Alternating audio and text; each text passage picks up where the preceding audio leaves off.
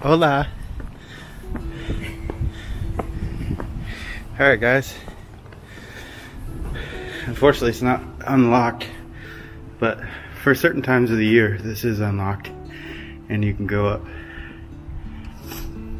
It was uh, built in 1905 in honor of Ethan Allen.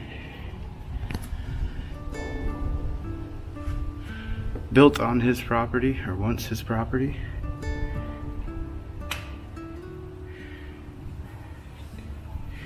Pretty impressive views from up there. And uh, we can't go up there today, but I'll still show you the views with the drone.